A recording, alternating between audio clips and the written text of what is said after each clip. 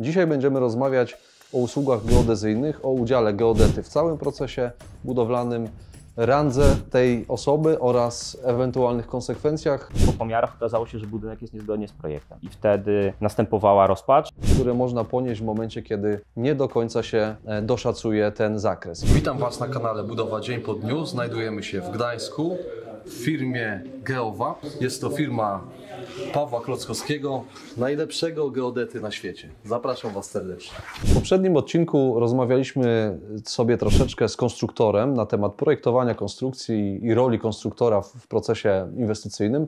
Jeżeli chodzi o geodetów, niestety cały czas jest pewien problem. Wydaje się często inwestorom, zwłaszcza, że geodeta to jest taki troszeczkę pomocnik, który gdzieś tam musi się pojawić, ale nie do końca jest dla nas dużym wsparciem, a należy tu zwrócić uwagę, że tak naprawdę geodeta jest swego rodzaju aniołem stróżem, który może zdecydować o tym, że budowa przejdzie stosunkowo sprawnie lub że będziemy mieli bardzo, bardzo poważne problemy. Zauważyłem, że o ile geologów bardzo często inwestorzy w ogóle nie zauważają i nie wiedzą, kim oni są, o tyle geodetów przynajmniej już rozróżniają, wiedzą, czym się zajmuje, chociaż niestety trafia mi się często pomyłka, ale to na y, geologów mówią geodeta, a nie na geodeta, na geodetę mówią geolog, także jest generalnie progres, jesteście w hierarchii inwestorów wyżej od geologów, także To wiesz co, ja Ci tylko dopowiem, bo zdarza się, że dzwonią do mnie klienci szukając geologa. I tak staram się im obrazowo to wytłumaczyć, że to jest tak zbliżony zawód, jak, a tak podobnie brzmiący jak laryngolog i ginekolog. Więc wiesz, zupełnie tak. inny temat. Tutaj geo jest mylące niestety jakoś. I teraz y, pogadamy sobie na temat konkretnych spraw, więc może otwierając naszą rozmowę, powiedz, jaką funkcję pełni geodeta? Dla inwestora może, tak? Kim może być i w czym może pomóc inwestorom? To tak miło powiedziałeś, że to taki anioł stróż, ale ja chyba mam takie wrażenie, że geodeta jest traktowany jako takie zło konieczne na budowie. Też mi się tak wydaje. przyjeżdża, zawsze generuje jakieś problemy, ciągle kręci nosem. Tylko, że z naszej strony takie kręcenie nosem i szukanie dziury w całym jest po to, żeby zapewnić inwestorowi spokojny sen. Więc my pilotujemy inwestycje od samego początku, jeszcze zanim ktokolwiek wejdzie, aż do samego końca, kiedy już wszyscy zejdą, a my musimy zrobić powykonawcze pomiary do odbioru budynku. No właśnie, czyli pierwszy krok, zanim wszyscy wejdą. Oprócz tego, że oczywiście mapa do celów projektowych, to wcześniej możecie wykonywać różnego rodzaju usługi, sprawdzenia dla inwestora, nawet w momencie, kiedy on analizuje działkę, czy ona się w ogóle nada, zarówno dla inwestorów oczywiście, jak i dla klientów indywidualnych, bo jest szereg spraw, które mogą być nieuregulowane na danej działce, które Wy możecie zauważyć i zwrócić na nie uwagę. Jakie to są rzeczy między innymi? Wiesz, to jest tak, że zawsze tłumaczę też swoim klientom, którzy są na etapie kupowania działki, że warto sprawdzić historię danej działki. Y, Jak wygląda jej status prawny, jak wyglądają granice, bo często inwestorzy szukając okazji kupują działki patrząc tylko na mapę ewidencyjną i nie widząc działki w terenie, albo widząc ją na zasadzie, że sprzedający pokaże palcem i powie, to jest ta działka. To jest zastanawiające, bo jak kupujesz samochód, to weźmiesz specjalistę, który ci ten samochód przejrzy od A do Z, a jak kupujesz działkę, to nie bierzesz geodety, żeby ci to sprawdził. Więc to jest to, trochę jak kupowanie samochodu patrząc w dowód rejestracyjny. A jest szereg takich rzeczy, które mogą powodować, że dane jakieś zamierzenie inwestycyjne może się nie udać zrealizować.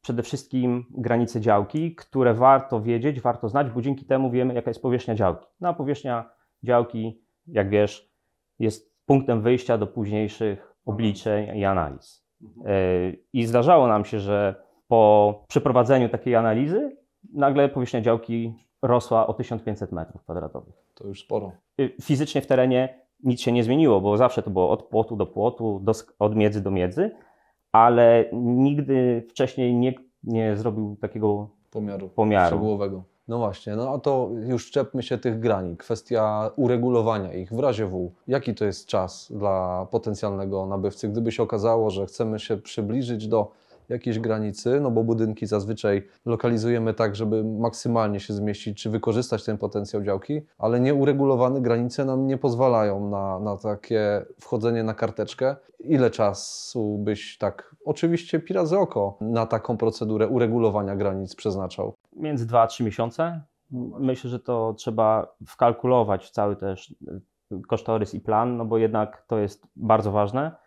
A często niestety zdarza się tak, że granice, które pozyskujemy z map urzędowych, nie są zgodne z granicami, które są odnajdywane y, w terenie. Czyli kamienie graniczne, które odszukujemy, ich położenie jest niezgodne z tym, co jest na mapie. I teraz zakładając, że te w terenie są prawidłowe, a te na mapie nie, należy to doprowadzić do zgodności, bo projektant mając złą mapę projektuje budynek od tej granicy, która jest na mapie. Czyli jeżeli zaprojektuje budynek 4 metry od granicy, a fizycznie później on wyjdzie 3,5, no to sorry. To już jest Źle.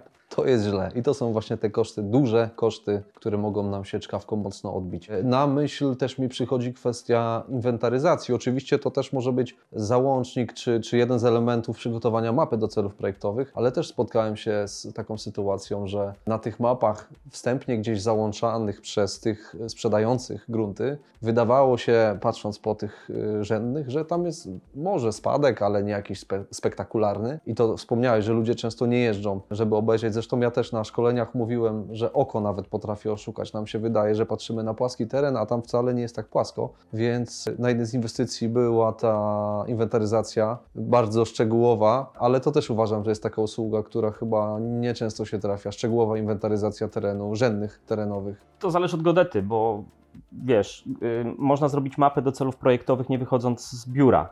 Y, No tak. I ona się niczym nie różni od mapy do celów informacyjnych. Natomiast porządnie zrobiona mapa do celów projektowych wymaga jednak wizyty w terenie, zrobienia dokładnego pomiaru, pomierzenia terenu, pomierzenia drogi, sprawdzenia, czy teren jest odpowiednio usytuowany dla projektanta, żeby ten budynek nie był za nisko w stosunku do drogi, czy też za wysoko w stosunku do terenu.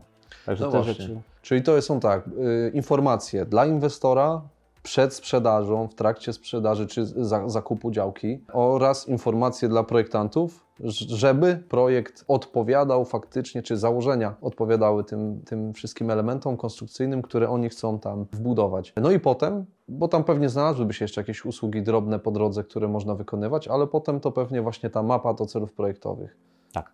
I tutaj już wspomniałeś o tym, że mapa mapie nierówna. No i właśnie, masz jakiś taki, nie wiem, współczynnik, wyznacznik, nie wiem, działka ma 1000 metrów, to zawsze zinwentaryzujesz w 4 punktach, w 15 punktach, jakaś taka procedura, przez którą każdy z Twoich pracowników przechodzi? Czy to jednak wymaga, lista jest tak długa czynności, że wymaga takiego spersonalizowanego podejścia do każdej działki? Wiesz wydaje się, że to zależy od ukształtowania terenu i jednak y, staramy się robić w miarę dokładnie takie pomiary wysokościowe. Jeżeli działka jest płaska, wiadomo, że nie będziemy musieli robić takich przekrojów wysokościowych co 5 metrów, ale jeżeli jest duży spadek, to żeby ułatwić projektantowi zadanie, no to jednak staramy się dość gęsto taką działkę zinwentaryzować. Y, Teraz dużo łatwiej jest to robić, bo mając działkę, która ma kilka hektarów, wystarczy, że zrobimy to za pomocą drona, który zbierze w cudzysłowie y, wszystkie niezbędne informacje o ukształtowaniu terenu i na podstawie tego wygenerujesz y, siatkę wysokościową, nie musząc w terenie biegać skakać, skakać. No tak, faktycznie to ułatwia, choć nie jest to chyba jeszcze tak często spotykane rozwiązanie, co z tymi dronami? No ale wiem, że Wy to mocno, mocno lobbujecie i u Was można zamówić taką usługę.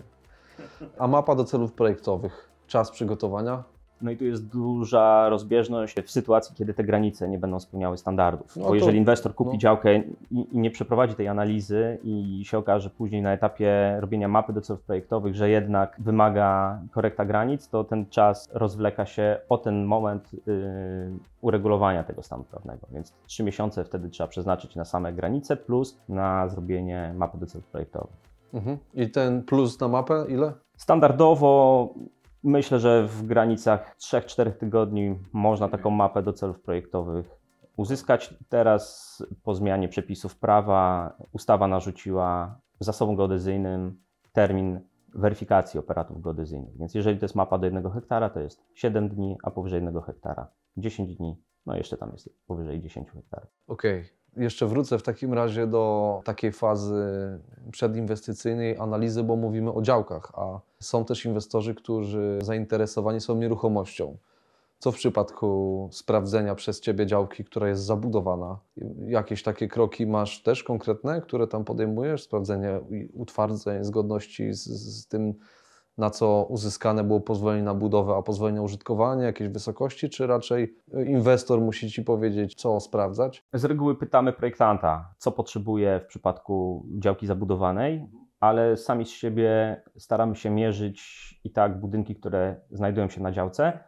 Bo co ciekawe, bardzo często jest tak, że ich położenie na mapie znowu nie zgadza się z położeniem fizycznym w terenie. A jaka jest tego konsekwencja? Inna jest powierzchnia zabudowy, która widnieje w ewidencji gruntów, a inna, która wyjdzie nam z pomiaru. Więc to wszystko trzeba zaktualizować, żeby później mieć dobry start. I to też tak na dobrą sprawę przed zakupem działki, bo kwestia tej powierzchni też jest często uregulowana w umowach, nie? Także tutaj je- jest to zawsze dobry krok, żeby sprawdzić nawet, nawet tą nieruchomość, którą planujemy rozbudować, przebudować, bo też możemy mieć inne dane niż to, co w wszystkich papierach, projektach. Ostatnio zdarzyło mi się w Gdyni robić pomiar nawet nie budynku, a lokalu usługowego, który był wystawiony na sprzedaż i przy powierzchni 400 m2 bank miał wpisaną powierzchnię o 150 m2 inną niż nam wyszło. No to nieźle. Ktoś się grubo pomylił. Z czego wynikają te błędy? Czyli na jakiej podstawie te zasoby geodezyjne były jakoś tam tworzone? Czy, czemu to się tam znalazło? Jaki rząd wielkości przesunięcia tych granic? Nie wiem, czy wchodzić w takie trochę prawne zawiłości, to jak ty czujesz? No bo kwestia tej granicy jest sporem bardzo często, nie? Bo to, no, jak to granica jest? Miejscem styku kultur, ale też miejscem konfliktów. Pytanie, czy chcemy ruszyć temat. Sąsiad nagle chce uregulować granicę, która od 30 lat była nieruszana i mój płot jest w połowie u niego, a jego płot jest w połowie u mnie, nie? I no, nie, nie wiem, czy, czy, czy to nie będzie, wiesz, zbyt rozwlekłe zagadnienie. Na pewno, o tym, o tym można gadać i gadać. Yy, Geodezja jest, diabeł tkwi w szczegółach i w geodezji punkt graniczny to jest coś innego niż znak graniczny. Ustalenie to jest coś innego niż rozgraniczenie. Mapa docelów projektowych to jest coś innego niż mapa docelów informacyjnych. Yy, Więc tych zawiłości prawnych jest mnóstwo, ale może tak pobieżnie. Mapy, to może tak brzydko zabrzmi, które idziesz i kupujesz w starostwie, to są mapy tak dla ludzi z ulicy. Jako obrazek, na który ty możesz popatrzeć. Dla nas nie mają one większej wartości bez sprawdzenia dodatkowych rzeczy, czyli właśnie dogrzebania się w archiwum do dokumentów, które zostawił geodeta, który daną działkę stworzył. I o ile teraz zasób jest cyfrowy, czyli wszystko, co teraz trafia, jest ok, o tyle przed wprowadzeniem zasobów cyfrowych wszystko polegało na wkreślaniu y, rapidografami na arkusze map. W momencie, kiedy następowała cyfryzacja zasobu, to te arkusze były skanowane, a później ktoś siadał przy komputerze i klikał tą granicę. A wiesz, y, w skali 1 do 500, 1 mm to jest 50 cm w terenie. Więc takie lekkie kliknięcie obok powodowało, że na mapy cyfrowe trafiały granice przesunięte Mhm. o jakiś wektor. No i teraz w sytuacji, kiedy przez wiele lat nic się nie działo, a teraz ktoś tą działkę kupił, no to warto doprowadzić to do ładu i składu. Czyli my nie wierzymy mapom jako geodeci, wierzymy dokumentom starym archiwalnym. I na ich podstawie Mhm. weryfikujemy granice w terenie. Tak okej. pobieżnie. Czyli tak naprawdę sprawdzacie do tych ręcznie wykonywanych, tak? Tak, to, to nie są mapy, wiesz. To jest tak, że to geodeta przekazuje do urzędu protokoły graniczne, szkice, y, czasami wykazy współrzędnych i to zebrane do kupy, poprzedzone i poparte jakąś tam analizą, prowadzi do tego, że jesteśmy w stanie w terenie, nie patrząc na mapy, określić, gdzie dany punkt graniczny się znajdował. Mhm. A ile najwięcej miałeś w historii przesunięcia tej granicy, w sensie tej różnicy? Około 7 metrów. 7 metrów. Kosmos, nie? Kosmos. To jest kosmos. Tak ludzie, ludziom się wydaje, że gdzieś coś jest 100% pewne, no zwłaszcza jak jest jakiś płot, no to przecież płot to jest świętość, a tutaj jednak, A nie można winić ludzi, bo to nie jest tak, że każdy musi o tym wiedzieć. no właśnie, Jednak to prawda. to jest tak, że no my jesteśmy po to, żeby. Teraz już wiecie. tak, teraz już wiecie. Jesteśmy po to, żeby po to, za tą rękę poprowadzić przez cały ten proces od kupienia działki po zakończenie budowy. No tak, no tak. Kurde, 7 metrów to sporo. To faktycznie sporo. No ale to zakładam, że w takich polach gdzieś tam faktycznie, bo pewnie, chociaż nie, w mieście też się trafiło dużo ci takich przesunięć? W mieście mniej, to było akurat faktycznie pod Gdańskiem, natomiast y, temat sprzed miesiąca, tutaj niedaleko we Wrzeszczu, klient kupił działkę, ale w umowie zastrzegł sobie, że najpierw będzie chciał zweryfikować stan prawny granic. Wynajęli nas do tego i okazało się, że działka 200 m2 miała za dużą wpisaną powierzchnię w rejestrach urzędowych. To ile miała? Hektar z 800, de facto wyszedł hektar 600. 600. Więc kwota była ustalona od metra, więc te 200 metrów kwadratowych. Robi kwotę. We Wrzeszczu na pewno. We Wrzeszczu. We Wrzeszczu robi. Tak, a ciężko znaleźć taką działkę we Wrzeszczu jeszcze też. No, kurczę, no. Jeżeli chodzi o nieuregulowane granice, czy osoba, która sprawdza jakąś działkę, może w jakichś zasobach stwierdzić fakt, że są one nieuregulowane, nie były nigdy sprawdzane? Czy to musi się oprzeć o Was i Ty powiesz, że ta granica jest nieuregulowana? Ogólnie rzecz biorąc, zasób jest ogólnodostępny i każdy obywatel ma prawo pójść do urzędu i kupić sobie jakąkolwiek stronę z archiwalnego dokumentu, który został tam złożony. Natomiast czy będzie w stanie coś z tego wyciągnąć i przeanalizować, nie sądzę. Tutaj jednak musi to być trochę podparte. No a załóżmy, hipotetycznie, ja chcę kupić działkę, przychodzę do Ciebie tylko za, z zapytaniem, czy mógłby Pan mi sprawdzić, czy te granice są uregulowane? Jak podchodzić do takiego tematu? Samo stwierdzenie, jeszcze nie regulowanie tych granic, ale samo stwierdzenie. To jest coś, co po pierwsze, czy się trafiają takie zapytania, czy w ogóle ludzie o tym wiedzą? A jeżeli tak, to czy takie drobne usługi też świadczysz? Tak, taka świadomość rośnie w narodzie i często zdarzają się telefony o sprawdzenie stanu rzeczy. Niektóre urzędy poprzez portale geodezyjne, na które my możemy się zalogować, dają możliwość bardzo ogólnej informacji, sprawdzenia, czy dana działka jest OK. Z taką wstępną informację możemy w miarę szybko przekazać inwestorowi. Natomiast jeżeli już jest jakiś znak zapytania i pojawia się czerwona lampka, no to niestety wtedy to już wymaga rozpoczęcia całej procedury. Analizy. No tak, tak. No ale to ta informacja zwrotna, że coś jest lub może być nie tak, to już jest informacja konkretna. No to przede wszystkim jest informacja taka, że powierzchnia działki, która jest wpisana w ewidencji gruntów, może się różnić od tej, y, która wyszłaby po uregulowaniu takiego stanu prawnego. No okej.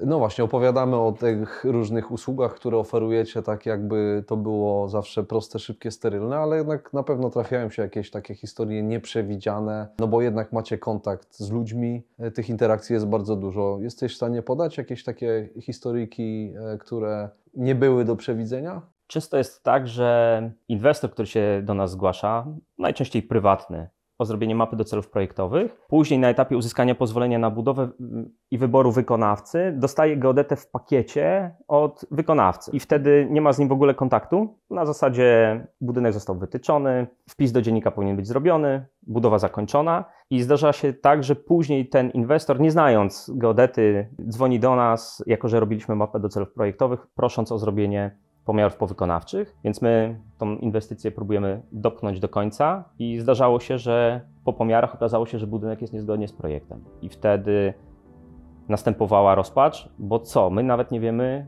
kim jest geodeta, któremu zaufaliśmy i powierzyliśmy milion złotych na zrobienie danej inwestycji. E, Na szczęście tam budynek powinien być 4 metry odsunięty od granicy, a był 4,5, więc pozwolenie zamienne załatwiło sprawę, ale mimo wszystko czas, nerwy, koszty, a bank, który udzielał kredytu, też na to wszystko patrzył z góry. No tak. To jest właśnie problem, wspomniałeś na początku, bagatelizowanie wartości geodety, tak? Jest, bo musi być, zło konieczne. Potem się okazuje, że jednak to mogło wyglądać inaczej, cały proces mógł wyglądać inaczej, nie? Bo to jest tak, że y, efektu pracy geodety nie widać tak od razu. Ty jako kierownik, inwestor, projektant nie zobaczycie, czy budynek został poprawnie wytyczony, jeżeli on jest w szczerym polu zrobiony, Mhm. a jak się okaże na ko- koniec, że on jest zamiast 4 czy 6 metrów od drogi, 5 metrów od drogi, no to nagle Jest problem. jest problem.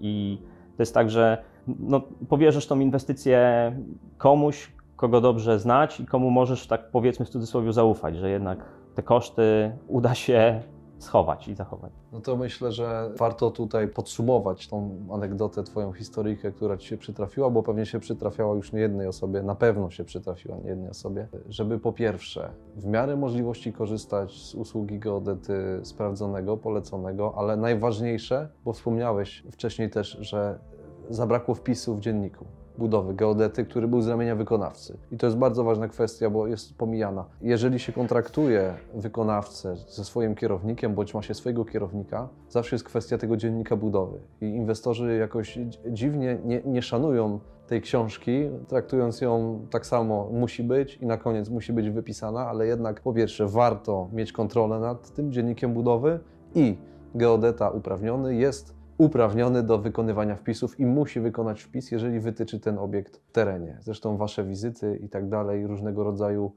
trwałe znaki tak samo są opisywane, mm, a nie jest tak, że wy sobie latacie, wpadacie i coś tam kreślicie po ścianach, tylko zostawiacie raporty, zostawiacie mapki, tak, wpisujecie wszystkie, wszystkie swoje tyczenia, a to jest często pomijane. Ale zawsze później możesz pociągnąć do odpowiedzialności taką osobę, która zrobiła coś źle. Zresztą ja mam wrażenie, że geodeta to jest taki trochę saper, że jak się pomylisz na budowie, to znikasz. Tak jest. Dokładnie. Wyrzucasz telefon i tak. ewaporacja. Czyli trafiają się historyjki, jak u każdego, mniej lub bardziej y, ciekawe, mniej lub bardziej śmieszne, pewnie mniej śmieszne w momencie, kiedy się wydarzają, a po czasie jednak człowiek troszeczkę z przymrużeniem oka na to patrzy. Warto wyciągnąć z tego wnioski, warto pilnować tych zapisów w dziennikach budowy, warto pracować ze sprawdzonym geodetą i przede wszystkim warto pamiętać, że on nam pomaga, a nie przeszkadza w budowie.